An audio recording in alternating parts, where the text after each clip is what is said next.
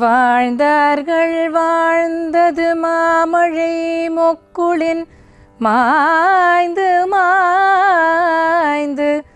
ஆழ்ந்தார் என்றெல்லால் அன்று முதல் இன்றருதியா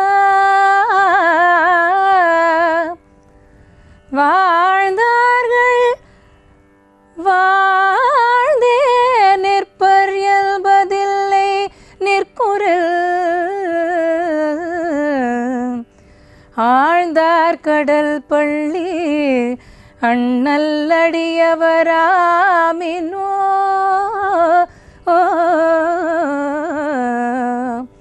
ஆழ்வார் திருவடிகளே சரணம் சரணம்.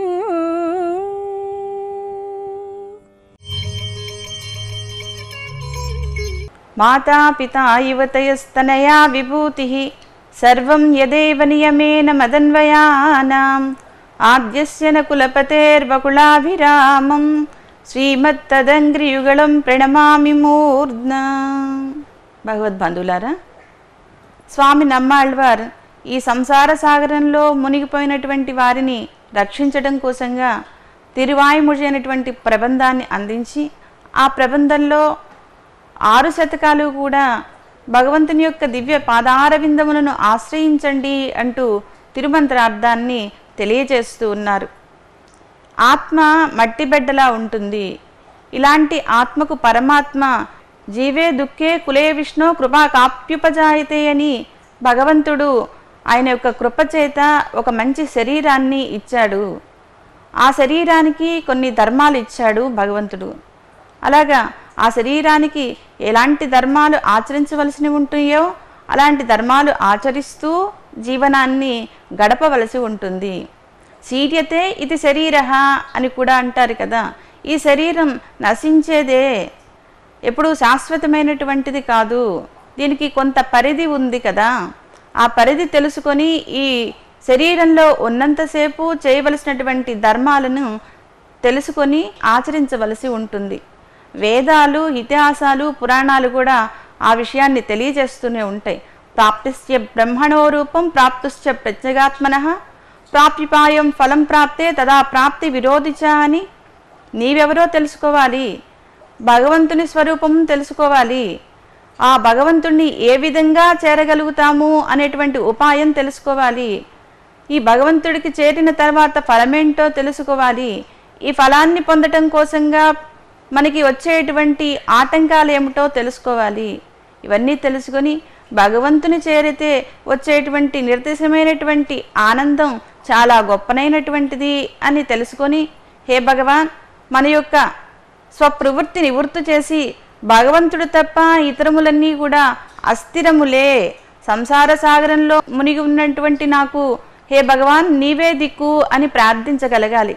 అదే విషయాన్ని మనకి జితంతా స్తోత్రంలో చెప్తారు అహం భీతోస్మి దేవేశ సంసారేస్మిన్ భయావహే పాహిమాం పుండరీకాక్ష నజానే శరణం పరం స్వామి ఈ సంసార సాగరంలో పడి ఉన్న నేను భయపడుతూ ఉన్నాను. క్రూరమైనటువంటి భయాన్ని కలిగించే ఈ సంసార సాగరంలో ఉన్న నన్ను నీవే రక్షించాలి స్వామి మరెవరూ దిక్కు లేరు అని భగవంతుణ్ణి ప్రార్థన చేయగలగాలి. అలా ప్రార్థన చేస్తే భగవంతుడు అనుగ్రహిస్తాడు. మన నమ్మాళ్వార్ ఇప్పటి వరకు కూడా చెప్పారు కదా రాజ్యాలు రాజ్యంలో ఉండేటువంటి వాటి యొక్క ఐశ్వర్యాలు తర్వాత ఆ రాజ్యంలో ఉన్నటువంటి భవనాలు ఆ భవనాల్లో ఉండేటువంటి మనుష్యులు ఆ మనుష్యుల యొక్క సుఖానుభూతులు ఇవన్నీ కూడా ఏమీ కూడా శాశ్వతమైనటువంటివి కానే కావు అశాశ్వతాలే అని తెలియజేశారు. అందుకే శ్రీయపతియే సర్వసులభుడైనటువంటి శ్రీమన్నారాయణుని శ్రీపాద పద్మములను ఆశ్రయించండి అని చెప్తారు పావనత్వే సతి భోగ్యత్వం అని భగవంతుని యొక్క దివ్య పాదారవిందములే పావనమైనటువంటివి అవి భోగ్యమైనటువంటివి అందుకోసమే వాటిని ఆశ్రయించండి ఆ దివ్య పాదారవిందములను ఆశ్రయించండి అని చెప్తారు ఈనాటి పాసురంలో வாழ்ந்தார் வாழந்தது மாமலை முக்குளின் மாயந்து மாயந்து ஆழ்ந்தார் என்றலால் அன்று முதல் இன்றுதியா வாழ்ந்தார்கள் வாழ்ந்ததே நிற்பர் என்பதில்லை நிற்குரில் ఆళ్దార్ కడర్పల్లి అండలడిరవరామినో అని లోకంలో ఎవరైనా సుఖంగా ఉన్నారన్నా ఆ సుఖము నీటి బుడగ వలె తక్షణమే నశించేటువంటిదే ఈ విధంగా నశించకుండా సుఖించి ఉండాలి బాగుండాలి అనుకున్న వారంతా క్షీరసాగరంలో శయనించి ఉన్నటువంటి ఆ క్షీరసాగర సాయిని ఆశ్రయించండి అంటున్నారు. లోకంలో ఎవరైనా సుఖంగా ఉన్నారన్నా ఆ సుఖం నీటి బుడగ లాంటిదే అది వర్షంలో పడేటువంటి నీటి బుడగ లాంటిదే అవుతుంది అది క్షణికమైనటువంటిదే తక్షణమే నశిస్తుంది. అలా కాకుండా నశించకుండా సుఖంగా ఉండాలనుకుంటున్నారా? మీరు క్షీరసాగర సాయిని సేవించి తరించండి అంటున్నారు నమ్మాళ్ళవారు. வாழ்ந்தார் வாழ்ந்தது మామళై మొక్కులిన్ మాయందు మాయందు అని సుఖంగా జీవించి ఉన్నవారు ఆ సుఖం ఎప్పుడూ కూడా శాశ్వతమైనటువంటిది కాదు అది క్షణికమైనటువంటిదే పెద్ద వర్షంలో నీరు పడుతూ ఉంటే కింద బుడగలు వస్తూ ఉంటాయి ఆ బుడగలు ఎంతసేపు ఉంటాయి క్షణికమే కదా అలాగే ఈ జీవితం కూడా క్షణికమైనటువంటిదే నశించేదే అందుకే మీరు స్వామిని ఆశ్రయించండి అంటున్నారు. ఇక్కడ జీవితం బుద్భుతప్రాయం అని చెప్తున్నారు నమ్మాళ్ళవారు అయితే నమ్మాళ్ళవార్లు కూడా ఈ జీవితంలోనే ఉన్నారు కదా. మరి బుద్భుతప్రాయం అని ఎలా చెప్తున్నారు అంటే నమ్మాళ్ళవార్ మానవ శరీరాన్నే ధరించి ఉన్నప్పటికీ కూడా నమ్మాళ్ళవార్ భగవద్ అనుగ్రహ పాత్రులు కనుక భగవంతుని యొక్క దివ్యమైనటువంటి అనుగ్రహానికి పాత్రులే ఉండడం చేత నమ్మాళ్ళవారుల యొక్క వృత్తి ప్రవృత్తులు కానీ అలాగే దారక పోషకాలు కానీ సర్వము సర్వేశ్వరుడే అవడం చేత ఆయనకు ఈ లోకంలో ఉండేటువంటివన్నీ కూడా అవి సర్వం సర్వేశ్వరుడే కనుక ఆయన సంసార సాగరంలో మునగకుండా మనకి హితబోధ చేస్తూ ఉన్నారు. ఆయన చింత చెట్టుపైనే కూర్చొని ఉన్నారు కదా అంటారు. అలా చింత చెట్టుపైనే ఉండి మనకి ఇలాంటి దివ్య ప్రబంధాన్ని మనకి అందించినటువంటి మహనీయులు నమ్మాళ్ళవార్లు. అలాగా అంతేకాకుండా ఆయన కూడా కొన్ని పాసురాల్లో చెప్పారు. స్వామి ఈ లోకంలో అందాలు ఆనందాలు అన్నీ నీవు సృజించేటువంటివే. ఇవన్నీ కూడా వీటన్నిటినీ కూడా మాకు చూపించి నీవు ఇన్నం కెడుపాయో అని ఇంకా పాడు చేస్తున్నావయ్యా? అని అంటారనమాట అంటే విషయాంతరములన్నిటినీ చూపించి మమ్మల్ని నీ వాడిగా చేసుకోవడం మానేసి దూరం చేస్తూ ఉన్నావు స్వామి. మమ్మల్ని రక్షించు అని వేడుకోగలగాలి. అలా వేడుకోవాలన్నమాట ఆ విషయాన్ని తెలియజేస్తున్నారు. పెద్ద వర్షం పడుతూ ఉంటే క్రింద నీటి బుడగలు పడుతూ ఉంటాయి. ఆ నీటి బుడగలు ఎంతసేపో ఉండనే ఉండవు. ఆ ఆ నీటి బుడ యొక్క ఆయుర్దాయం ఎంతసేపు అంటే పైనుంచి ఒక నీటి బుడగ పడితే వెంటనే ఈ కింద ఉన్నటువంటి నీటి బుడగ అంతమైపోతూ ఉంటుంది అని అనమాట అందుకోసం చాలా క్షణికమైనటువంటి నీటి బుడగ లాంటి జీవితమే మన జీవితం కూడా అంటున్నారు. అలాగే ఈ జన్మ అంతా కూడా అలాంటిదే. ఈ జన్మ అంతముందునది అంటే మనకి మళ్ళీ జన్మ వస్తూనే ఉంటుంది. ఈ జీవితపు స్థితే ఇలాంటిది. ఈ జన్మ అంతముందింది అంటే మరో జన్మ వెంటనే దాపురిస్తుంది. ఇలాగా కర్మ జన్మ జన్మ కర్మ అంటూ ఇలా చక్రం తిరుగుతూనే ఉంటుంది. ఇక జన్మించామా? కష్టము సుఖము కష్టము సుఖము అంటూ రెండు అంటు పెట్టుకుని ఉంటూనే ఉంటాయి. ఈ జన్మల చక్రంలోంచి మనం తప్పించుకోవాలంటే భగవంతుని యొక్క దివ్య నామ స్మరణ చేయాలి. భగవద్గీతలో శ్రీకృష్ణ భగవానుడు చెప్పారు కదా జన్మ కర్మ చమే దివ్యం ఏవం యో వేత్తి తత్వత త్యక్వా దేహం పునర్జన్మ నైతి మామేతి సోర్జున అని చెప్పారు. అయా నీవు ఈ జన్మ చక్రంలోంచి తప్పించుకోవాలి అంటే నా యొక్క జన్మను తెలుసుకోవాలి. అంతేకాకుండా నా యొక్క దివ్యమైనటువంటి చేష్టితములు కూడా అనుసంధానం చేస్తూ ఉన్నట్లయితే ఈ జన్మ చక్రంలోంచి నీవు తప్పించుకోగలుగుతావు అని చెప్పారనమాట అలాగా భగవన్ నామస్మరణ చేసి శ్రీయప్పతి యొక్క పాదారవిందములను ఆశ్రయించండి అని చెప్తున్నారు నమ్మాళ్వార్ அன்று முதல் இன்றுதியா வாழ்ந்தார்கள் வாழந்தே நிற்பர் என்பதில்லை ఆనాటి నుండి ఈనాటి వరకు సుఖపడ్డవారు సుఖంగానే ఉన్నారు అన్నవారు ఎవరూ లేరు అని చెప్తున్నారు నమ్మాళ్ళవారు అంటే ఆనాటి నుండి అంటే మన అమ్మమ్మల నాటి నుండా లేదా ముత్తమ్మమ్మల నాటి నుండా అని కాదు. లేదా నమ్మాళ్ళవారి నాటి నుండా అంటే అది కాదు. ఎప్పటి నుంచి? సృష్టి ప్రారంభం నుంచి కూడా. ఎప్పుడు కూడా వీరు సుఖపడ్డారు అనేటువంటి మాట లేనే లేదు. జీవించి ఉన్నారు అనేటువంటి మాట లేనే లేదు. అంటే ఈ జీవితాలు అస్త్రములైనటువంటివి ఇవి ఉద్భుత ప్రాయములే అనేటువంటిది తెలుస్తోంది అన్నమాట.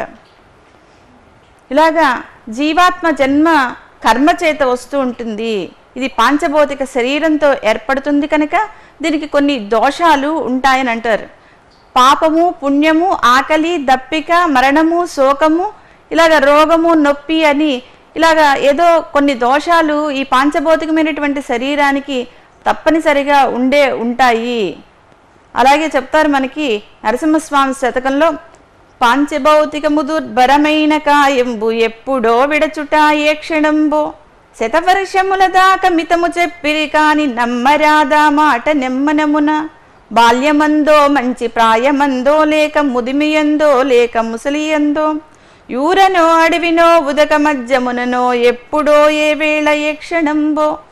మరణమే నిశ్చయము బుద్ధిమంతుడైన దేహమున్నంతలో మిమ్ము తెలియవలియను భూషణ వికాస శ్రీధర్మపుర నివాస దుష్ట సంహార నరసింహ దురిత దూర అని ప్రార్థన చేస్తారు కదా నరసింహ శతకంలో. ఈ శరీరం ఎప్పుడు కూడా శాశ్వతమైనటువంటిది కాదు.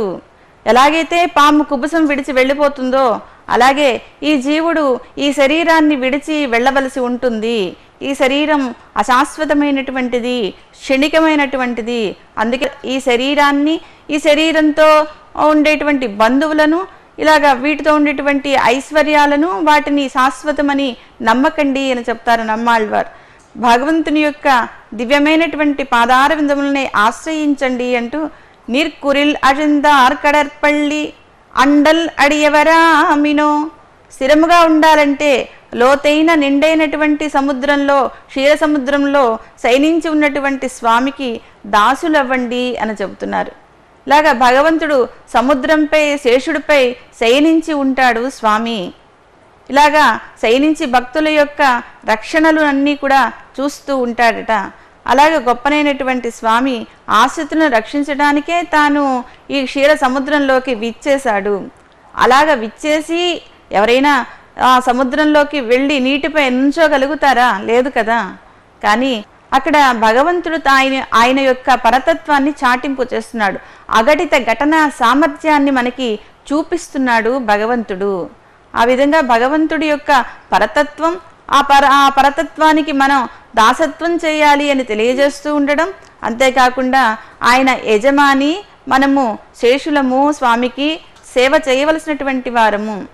దాసభూతా స్వత సర్వే ఆత్మన పరమాత్మన అని మనం ఈ ఆత్మను ఎప్పుడు కూడా పరమాత్మకు దాసులే కదా మరల ఎందుకు చెప్పారు అని అంటారేమో.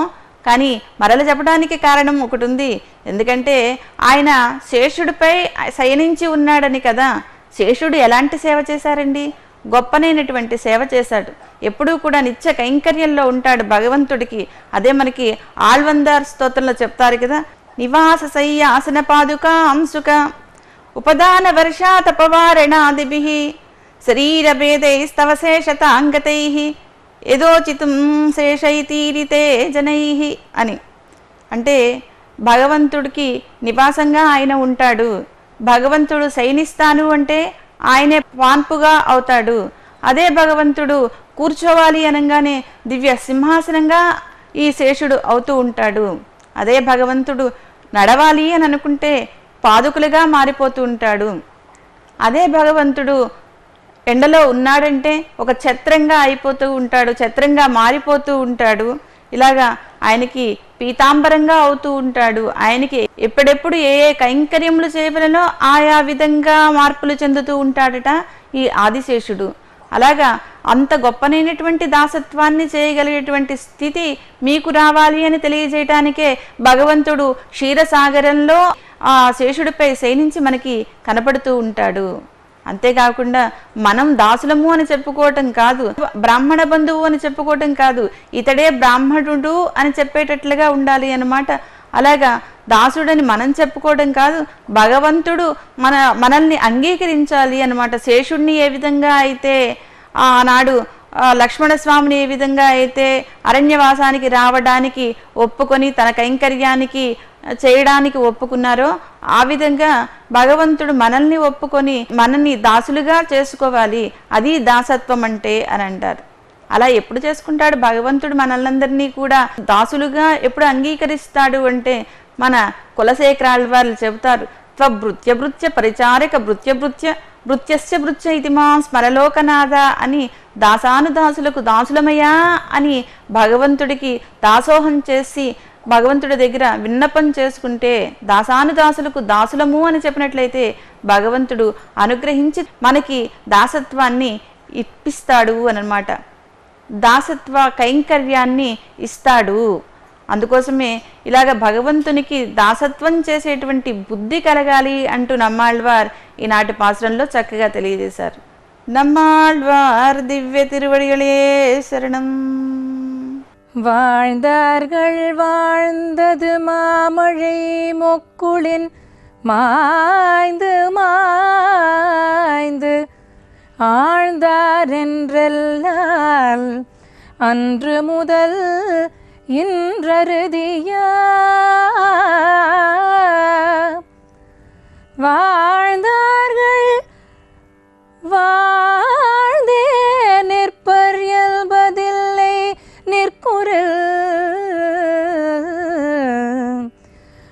ஆழ்ந்தார் கடல் பள்ளி அண்ணல்லடியவராமினோ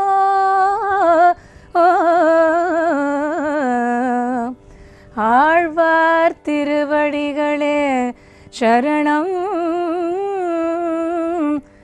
சரணம்.